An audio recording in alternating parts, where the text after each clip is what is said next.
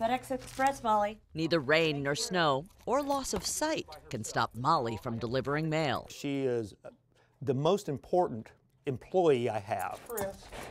This blind black lab is the mascot of the mailroom at Goen Postal in Centralia. Most of my customers probably don't know my name.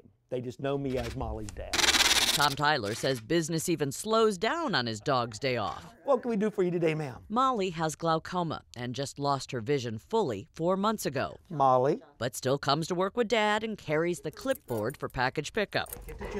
She has to have her guide dad help her along the way. She bumps her head and hugs the walls, but gets the job done. Here, Molly, come get a UPS package right there.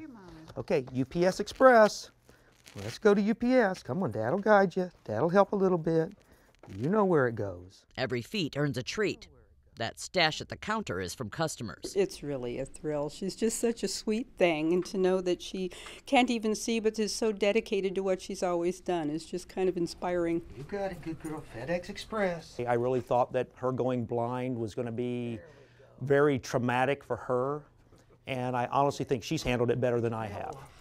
Tom is now scent training Molly so that her nose will lead her around this shipping center. He's placed these scented tabs on obstacles. There's one, and there's one right over here, isn't there, Molly? Right behind you. And he has also placed a scent along the carpet to indicate her track.